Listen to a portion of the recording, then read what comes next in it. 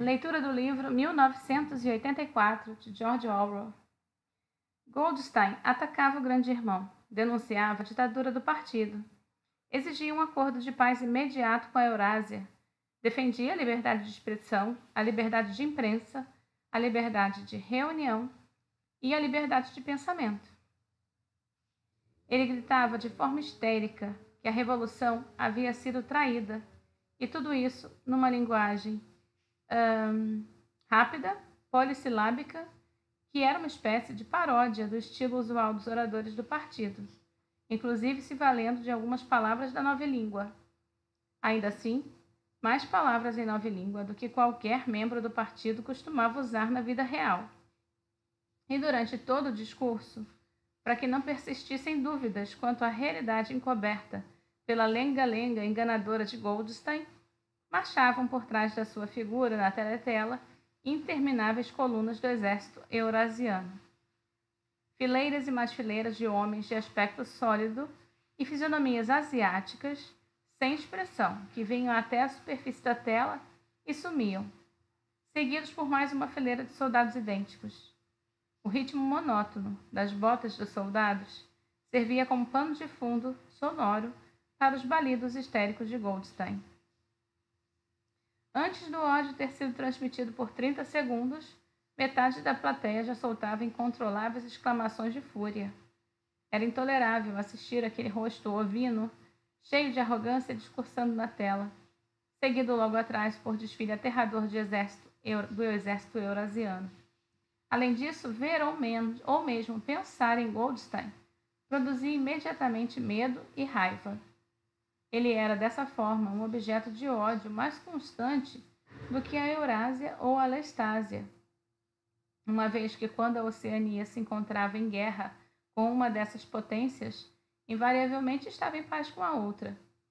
Todavia, o estranho era que, muito embora Goldstein fosse odiado e desprezado por todo mundo, e muito embora todos os dias, milhares de vezes ao dia, suas teorias fossem refutadas, esmagadas e ridicularizadas, comparadas ao lixo nas tribunas das teletelas, nos jornais e nos livros, muito embora tudo isso se passasse há anos, a sua influência nunca parecia estar diminuindo.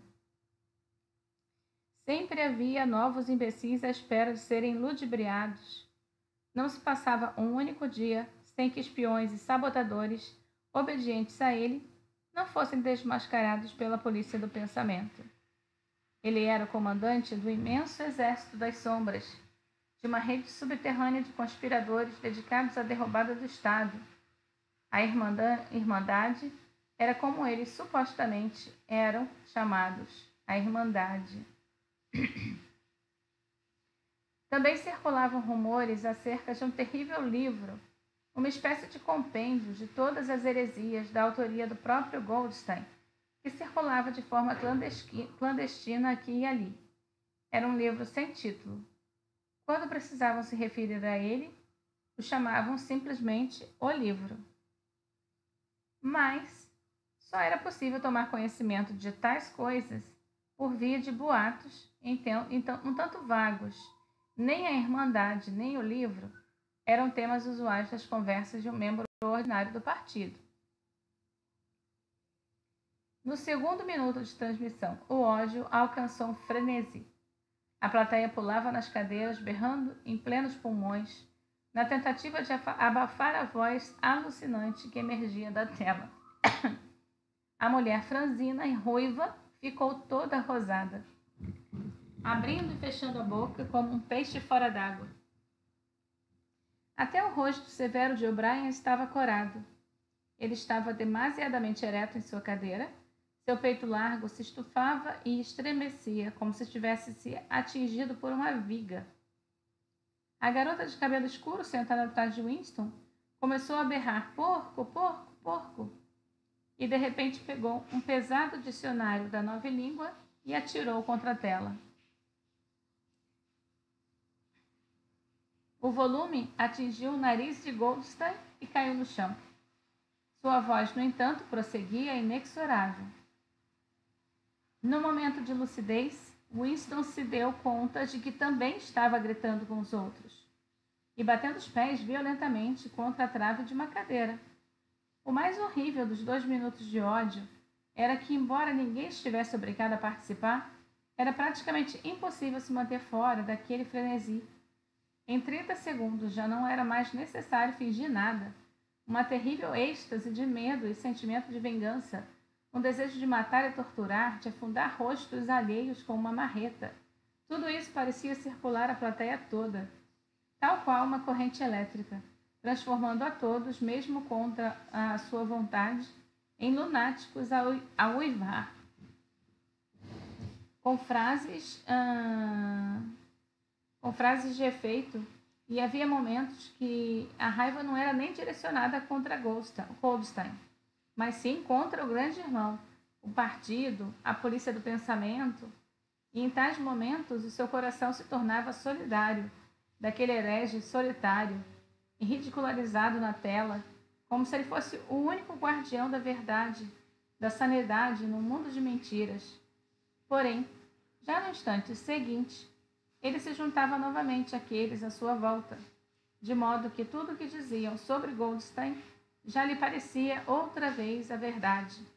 Nesses momentos, o seu ódio oculto contra o grande irmão se meta metamorfoseava em adoração, e o grande irmão parecia ainda maior, um guardião destemido e invencível, uma rocha firme colocada entre eles e as hordas da Ásia. E Goldstein, apesar do seu isolamento, da sua vulnerabilidade e da própria dúvida acerca da sua existência, se transformava num mago sinistro, capaz de esfacelar os alicerces da civilização pelo mero poder de sua voz. Em tais momentos, era até possível direcionar o ódio neste ou naquele rumo como um ato voluntário.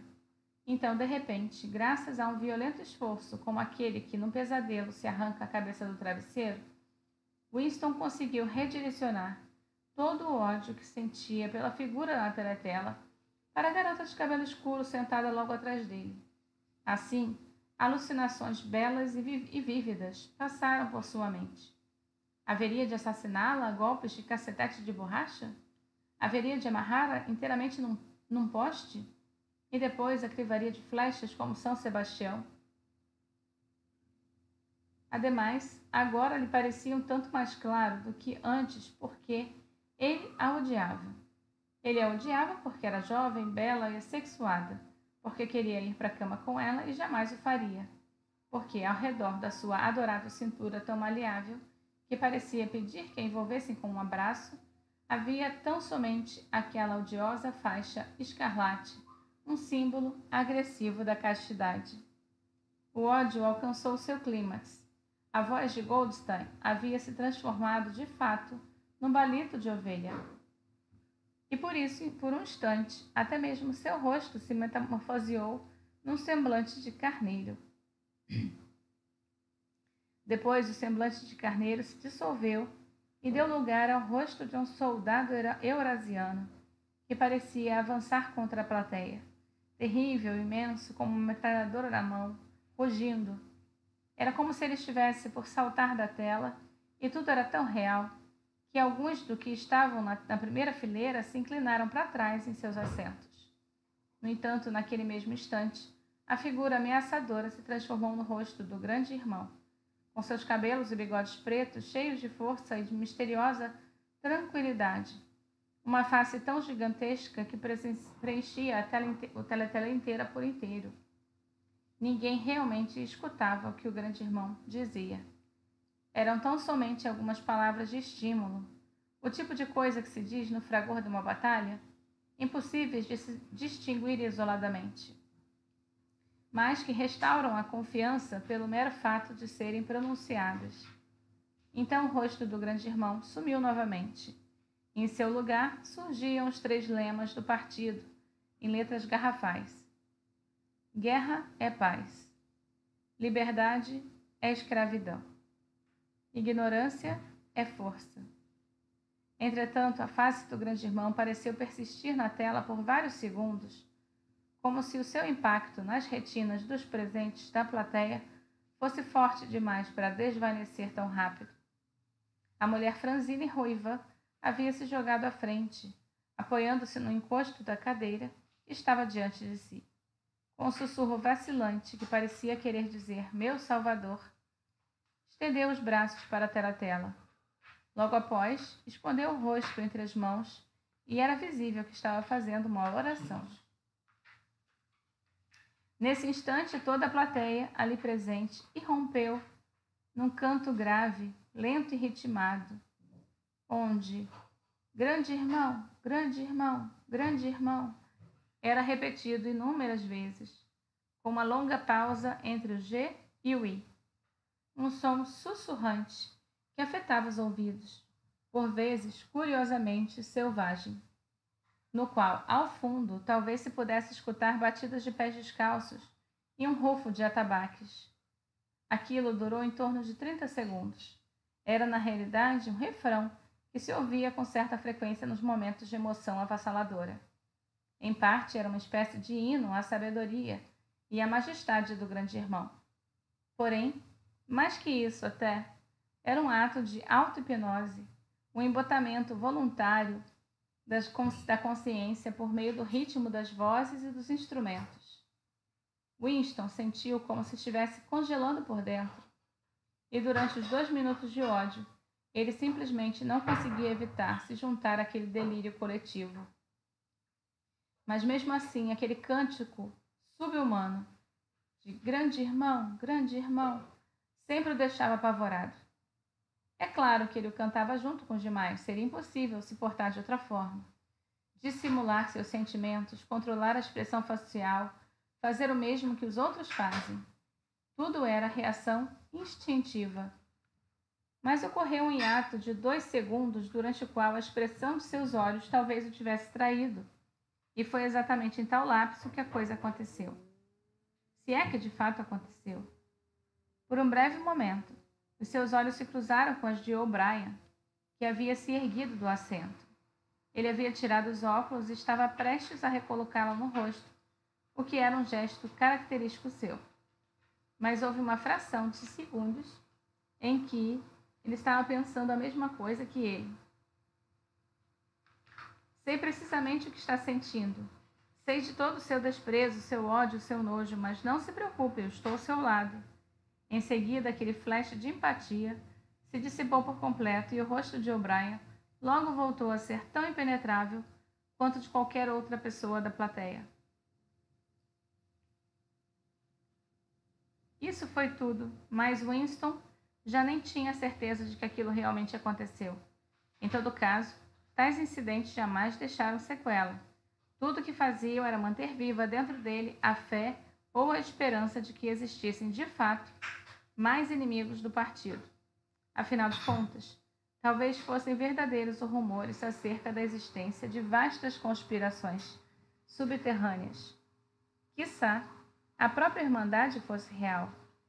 Afinal, era impossível, a despeito das incontáveis prisões, confissões e execuções, ter a certeza absoluta de que a Irmandade não passava de uma mera invenção Alguns dias ele acreditava na sua existência, noutros não.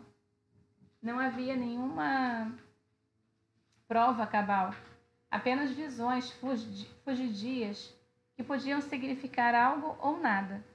Trechos de conversas ouvidas de forma difusa, alguns rabiscos mal apagados das paredes das cabines dos banheiros, coisas assim.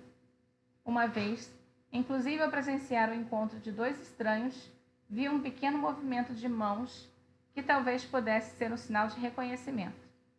Mas eram tudo um palpite, muito provavelmente até ter imaginado a coisa toda. Retornou a seu cubículo de trabalho sem voltar o olhar na direção do O'Brien. A ideia de levar adiante aquele contato momentâneo sequer lhe passava pela cabeça. Ainda que soubesse como proceder, seria algo incomensuravelmente perigoso Durante um segundo, quase dois, eles haviam trocado um olhar ambíguo e fim de papo. Mas até mesmo aquilo era um acontecimento memorável naquela solidão cerrada em que eles eram obrigados a viver.